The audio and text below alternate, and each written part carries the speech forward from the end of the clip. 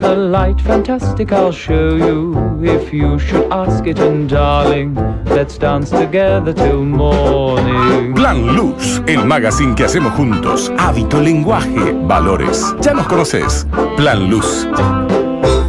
Bueno, lo había anticipado antes de las noticias. Tenemos aquí en los estudios de la radio. Me da mucho gusto saludar a, a tres personas eh, que intensamente trabajan allí en el HPC. La doctora María Eugenia González, que es médica especialista en terapia intensiva, recuperación del paciente trasplantado. ¿Cómo le va, María Eugenia? Bien, hola, buen día. Buen año, doctora. bueno, lo tengo también a mm, Rodrigo, el doctor Rodrigo Prado, nefrólogo, especialista en trasplante renal. ¿Cómo estás, Rodrigo? ¿Qué tal? Gracias. Bienvenido. Bueno, y también lo tengo al doctor Enrique Pan, eh, Canepa, que es cirujano general especialista en hígado, eh, cirugía de eh, y trasplante. Ahí está, perfecto. ¿Cómo anda, doctor? ¿Bien? Buen día, Bueno, doctor. bienvenidos a los tres. ¿eh? Estaba leyendo aquí un poco la información que, que tengo acá recabada en esta, en este, en esta hojita, ¿no? Que- y que tiene que ver con este primer trasplante multiorgánico de la ciudad que fue realizado justamente en el HPC. Les preguntaba un poco, ¿no? El, el minuto cero, el origen, que evidentemente está en el paciente, ¿no? El paciente con una determinada dolencia y que evidentemente eh, tenía que llegar a esta situación extrema de ser trasplantado, ¿no? ¿Cómo comenzó la historia de este hombre? No sé quién lo quiere contar, si quiere arrancar el Rodrigo, el doctor Prado. Bueno, este hombre le- lo conocemos a, a través de la gente del equipo de trasplante hepático. Él ya efectuaba diálisis Ajá. trisemanal a partir del 2015.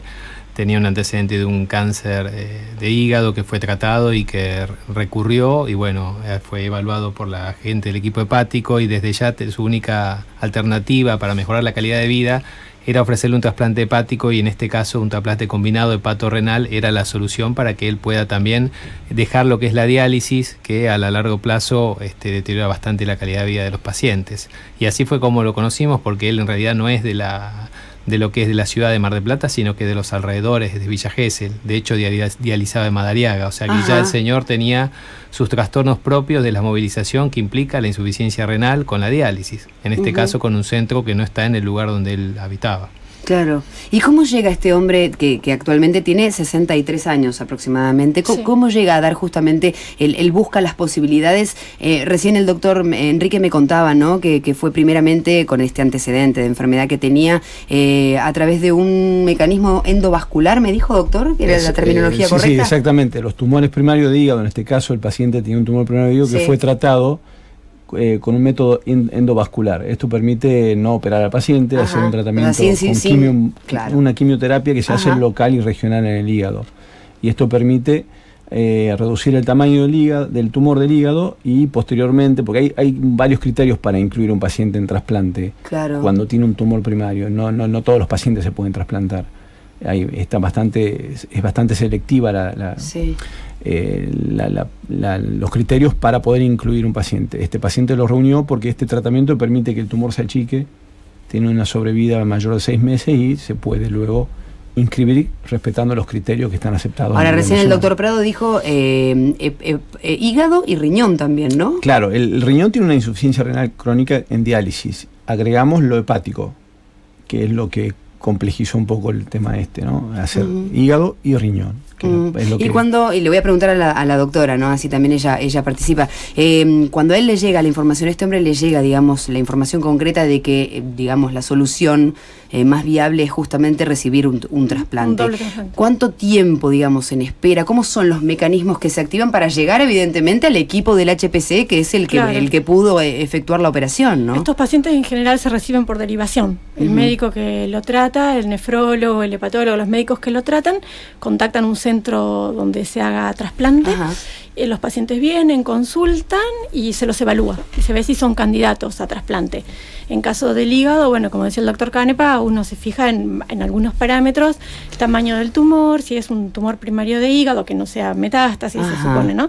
Eh, bueno, y otras patologías de hígado también, pero en general los pacientes vienen por derivación. Los deriva su médico, uno los evalúa, les hace la evaluación pretrasplante, en este caso doble, para renal y para hígado y se inscriben en lista, en la lista nacional. Claramente. En, en Incucay. Claramente. Bueno, y ahí tocamos uno de los temas más importantes, ¿no? Nosotros en la radio frecuentemente hablamos a propósito eh, de, de donar órganos, ¿no? De la necesidad de ponerse eh, a disposición de la vida de otros también, ¿no? Es Con- vital. con- totalmente. Bueno, y relativamente poco tiempo estuvo en lista de espera este hombre, porque seis meses, como me contaban, es muy poco tiempo. Sí. Y, y- El y- tiempo de- en lista de espera depende de la gravedad de uno, Claro. porque los pacientes están listados en base a la gravedad, los más graves quedan arriba. Claro. Y a su vez, por ejemplo, en hígado están separados por grupos sanguíneos, entonces hay grupos sanguíneos que tienen más eh, facilidad que otros para... Bueno, y acá, por llegar. ejemplo, la información dice que después de encontrar órganos compatibles con el paciente a través de un donante cadavérico, y- o sea, hablamos de órganos de esos dos específicamente, del hígado y del riñón Claro, que tenía pero que del mismo donante. de- del mismo donante, eso les quería Costó, preguntar. ¿eh? Sí. ¿Necesariamente tiene que ocurrir de esa forma? ¿Tiene que ser Sí. del mismo donante? Sí, claro, eh, hay un donante potencial que eh, entra en una lista nacional de donación. Ajá. Ese, el INCUCAI es el ente nacional que, que, Regula. que- que regula y que distribuye los órganos. Está todo legislado en nuestro país. Es imposible pensar en donaciones eh, que, mucha gente cree que se hace fuera de un- una regulación como esta. Eh, una vez que se, que se determinan qué órganos puede donar ese- esa persona, va, va a, una, a priorizar la lista de a la gravedad de pacientes que están en lista para trasplante cardíaco, pulmonar, renal. Y el mismo donante, eh, digamos, va, a- va a posibilitar que mucha gente se beneficie, porque podemos tener dos riñones, el hígado, cardiopulmonar, a veces páncreas o renopáncreas, Mm. Tejidos. eh, tejido, las córneas. claro. Es decir, hay mucha gente que se beneficia. Por eso es muy ¿Y- importante. ¿Y, y qué tiempo transcurre entre que esta persona, el donante, ¿no? falleció, eh, a- hasta que finalmente este hombre recibe los órganos del donante? O sea, ¿cuáles son los pasos? Le- se lo voy a preguntar al, al doctor Prado. ¿Cuáles, ¿Cuáles son todos esos pasos, digamos, hasta que se hacen, evidentemente, no sé, eh, los estudios para saber si es compatible, si los puede recibir? Los candidatos. Los can- claro, exacto. Y generalmente, como dijo, ya dijimos un poco, va por lista de Incucay, entonces este, cuando el paciente, cuando hay un potencial donante que comparte un grupo sanguíneo con el receptor nuestro, se avisa a los- al equipo de ablación, en este caso al equipo de ablaciones, el, equipo hepático, que era de nuestra misma institución, que son los quienes fueron, corroboraron este, el estado del paciente, del órgano, y procedieron a la ablación, y mientras tanto una misma parte del equipo hepático ya prepara al paciente para poder hacer el trasplante hepático de primera instancia y consecutivamente posterior el trasplante renal. Claro. Son tiempos cortos, es que un trabajo sincronizado de- de- del hospital y, y todos sus integrantes de los equipos, sobre todo la fragmentación que hay de los cirujanos que van a hacer la ablación con los mismos cirujanos eh, que están ya preparando al paciente para estar en óptimas condiciones para poder hacer el implante del hígado en tiempos cortos. El implante hepático no habrá sido más de Ajá. 10 horas, este, y que desde, la desde el clampeo hasta que se puso. Pero bueno, los y acá óptimos son justamente esos. a- pensando en eso, ¿no? En la cantidad de personas que se ponen a disposición de la vida de una, ¿no? Que es la que está en el quirófano en ese momento. Eh, la, la doctora González es médica especialista en terapia intensiva. Eh, el doctor Prado, que lo escucharon recién, nefrólogo, especialista en trasplante renal. El doctor Canepa, aquí a mi derecha, el cirujano general, bueno, especialista en hígado eh, y cirugía de trasplante. Evidentemente es un equipo interdisciplinario, ¿no? O multidisciplinario, me gustaría decir, para poder justamente eh, atender a una sola persona. Y hay mucha muchas gente más se personas, especializa, eh, mucha no gente se especializa. son- la instrumentadora tiene que estar especializada, la enfermera de terapia, los Claro. infectólogos se especializan en paciente trasplantado.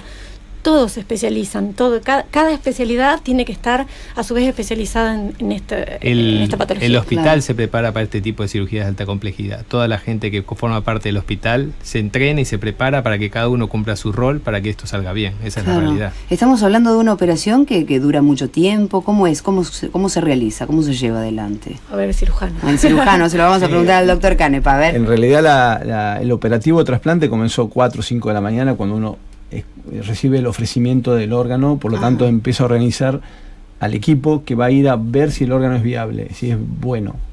Eh, entonces hay un equipo de cirujanos, instrumentador, anestesiólogos que tienen que prepararse para viajar, contratar un avión privado para hacerlo, si está muy Mm. lejos, como en este caso. Estaba lejos el donante, eh, los Estaba, órganos. estaba en capital, Ajá. en provincia. Ajá. Eh, bueno, una vez que el equipo que fue vio que el hígado estaba óptimo, a veces se hacen biopsias, hay que esperar un poco más. Mm. Eh, paralelamente, el paciente ya está llegando al hospital, la gente encargada de enfermería lo recibe, los médicos a cargo. Ahí le, voy a- le hago una pausa para preguntar Sí. esto. ¿Qué se hace? ¿Se levanta el teléfono y se lo llama Sí. eh, fulano de tal? Sí. Recibimos la información de que Tal hay- cual, el paciente que llamado y a veces llamado muchas veces se lo llama y cuando llegamos a ver el hígado no es bueno, el paciente se vuelve a su casa. Obviamente que pasa muchas veces eso, pero bueno, es parte de- del operativo. Y la cirugía, una vez que el hígado llega a la ciudad, que habrá llegado cerca del mediodía, el paciente ya, ya estaba en quirófano, eh, como dijo Rodrigo, se comienza el implante del hígado y luego el implante renal. Pero todo ese proceso lleva entre 10 y 12 horas. Y como dijeron recién también, hay mucha gente que intervino, eh, no solamente cirujanos y anestesiólogos, están los médicos eh, periféricos que hacen imágenes, que hacen infectología, Laboratorio. los terapistas, laboratorio, un gran servicio de laboratorio porque hay hemoterapia, transfusiones, hay un banco propio en el hospital Bueno, y todo la- el personal no médico, enfermeras, auxiliares de quirófano, de enfermería, de anestesiología. Éramos 40 personas circulando entre un, Un feriado. entre Impresionante. un domingo Sí. y un- Claro, el 20 de noviembre fue Fue la feriado, operación. Claro. claro. era feriado. Sí. Me voy a valer del último caso que fue muy resonante, ¿no? En, en- en todo el país a nivel mediático, el de esta chiquita Justina, ¿no? Que necesitaba ese corazón tan urgentemente. eh, y, y ese caso además englobó tantas otras cosas, no solamente la necesidad de recibir el, el corazón, sino lo que hablábamos recién, ¿no? La importancia de donar órganos y demás.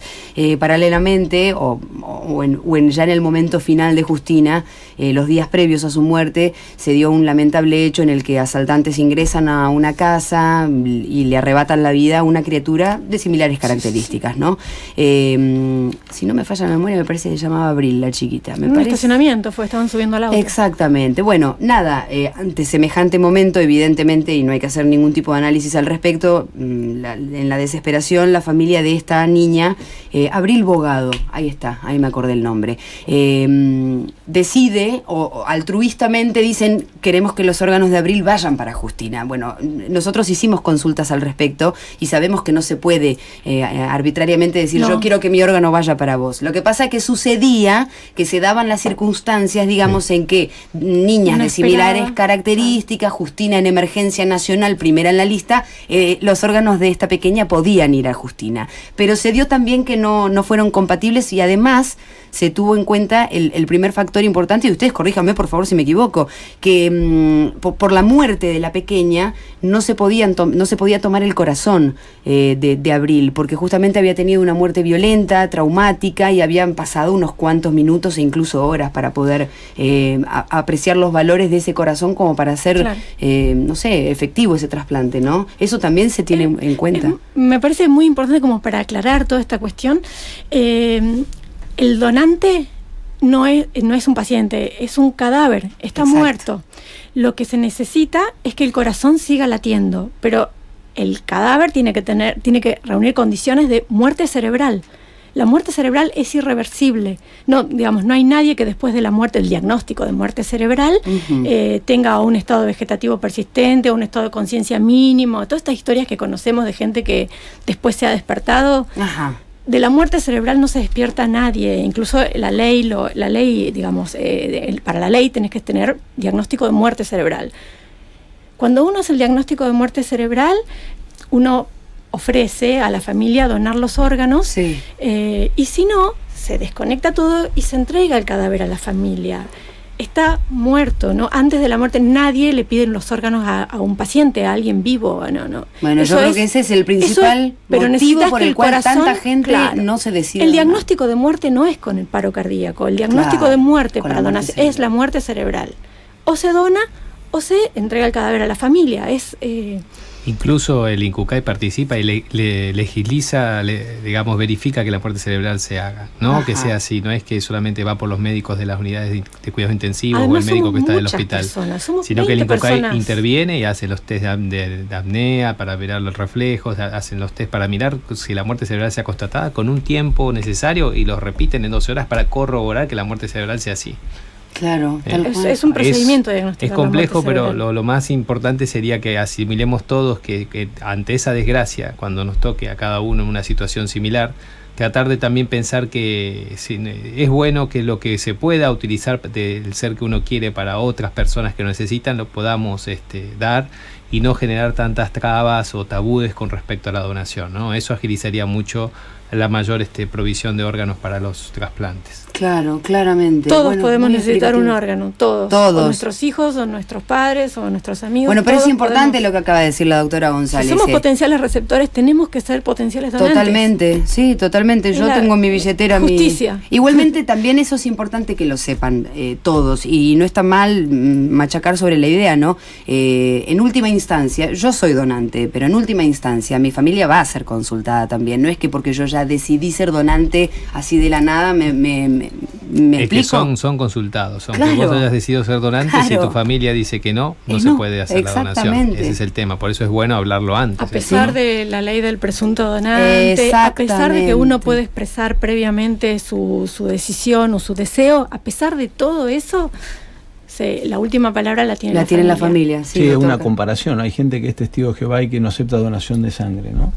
Y respeta mucho la familia la decisión del paciente. Esto no se da en el caso de trasplante, donde un paciente, en, eh, o yo, persona, no un paciente, en vida y muy lúcido, eh, decido donar mis órganos y cuando tengo una- un accidente X, eh, ya no estoy en posibilidad de decidir nada, mi familia decide por mí y puede interferir lo que yo había decidido. Eso, eso es lo que debería Claro. modificarse en la ley de presunto donante en nuestro país.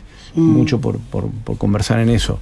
Eh, de hecho, en países, en países desarrollados, eh, como en España, por ejemplo, en el cual es el líder mundial en donación en- de órganos por millón de habitantes, eh, órganos y tejidos arriba de 30 millones, 30 donantes por millón de habitantes, están haciendo donaciones con hígado parado, con corazón parado. Ajá. Eh, ¿Por qué? Porque el paciente, la persona ya donó su órgano, cuando ahí está el accidente, la misma ambulancia que recibe al paciente, que a la persona que sufrió un accidente X, Sí.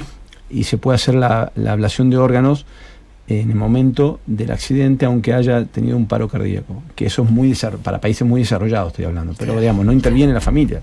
O sea, Claro. terminar lo que estamos hablando. Claro, claramente. Bueno, acá tengo eh, un mensaje, eh, no dejo el nombre, una pena, siempre digo que dejen el nombre cuando mandan un mensaje, así lo podemos personalizar, pero dice, buen día, el doctor Prado es un orgullo, brillante como médico y humano, atendió mi madre. Me dice acá una, una señora, ¿eh? la tengo acá. Tiene su club de fans. Sí, el bueno, bueno, pero, pero está muy bien. Bueno, eh, eh, y si me permiten un paréntesis, eh, esto se lo digo a la producción, hay que atender un llamado urgente que mandan acá, Bolívar al 6500, aparentemente hay una persona tirada en la calle, eh, que hay que atender ahí un caso, no sé si necesita o requiere de la asistencia de una, de una ambulancia. Bueno, la verdad es un orgullo contar con eh, un equipo médico así en la ciudad de Mar del Plata. Eh, ¿Qué saben de este hombre? Eh, ¿Tiene Esto fue hace muy poco, en el mes de noviembre. ¿Cómo fue el proceso de recuperación? El proceso de recuperación fue bueno. Eh, como todo proceso lleva un tiempo y el paciente está bien. Él es de Gesell, así que pro- eh, en ese- generalmente los controles son semanales, son Ajá. periódicos, todo lo hacemos con la gente del equipo hepático, lo hacemos también con la parte de trasplante renal. Y en estos primeros tres a seis meses siempre surgen algunas complicaciones clínicas que la vamos evaluando y, y la vamos este, medicando según la necesidad, pero realmente estamos, estamos convencidos que la evolución es correcta y, y- y pensamos que va a ir bien a largo plazo. Por supuesto que los controles al principio son un poquito más estrictos que, que lo que será más alejado. ¿Mm? Bueno, eh, mi- mis respetos para los tres, eh, la verdad que me parece siempre que mm, a- aquellos que, que operan no en el sentido literal de la cirugía, pero que operan eh, a favor de la vida, ¿no? Eh, de, de poder justamente salvar la vida de las personas, me merecen el, el El equipo, absoluto. el equipo por ejemplo, el de trasplante hepático nada más, está formado por más cirujanos. Está la doctora Mm. Fernanda El doctor José Iniesta, aparte del doctor Canepa. El hepatólogo del equipo es el doctor Machaín. Eh, y bueno, después también hay infectólogos, anestesiólogos claro, que están claro. especializados en esto, como Mariana Gordóvil, Cecilia Costa. Y mm, además de todo esto, eh, nosotros tenemos apoyo para este gran emprendimiento eh, de la Fundación Favaloro. Así que no, no, no somos solo nosotros tres. ¿no? En el caso del, del equipo de trasplante renal también son más personas. Bueno, eh, les agradezco a los tres infinitamente que hayan, se hayan acercado a la radio para dar a conocer este, esta, esta noticia, que la gente sepa eh, que aquí en la ciudad de Mar del Plata, hace muy poquito tiempo, en el mes de noviembre, se hizo este primer trasplante, porque es trasplante, ¿eh? Trasplante. trasplante multiorgánico de la ciudad. Eh, bueno, en este caso hablamos de hígado y de riñón en esta persona de 63 años. Así que a los tres, a la doctora González, al doctor Prado y al doctor Canepa, muchas gracias por acercarse ¿eh? y que tengan un buen año. Gracias a ustedes. Igualmente, Muchas gracias. Gracias.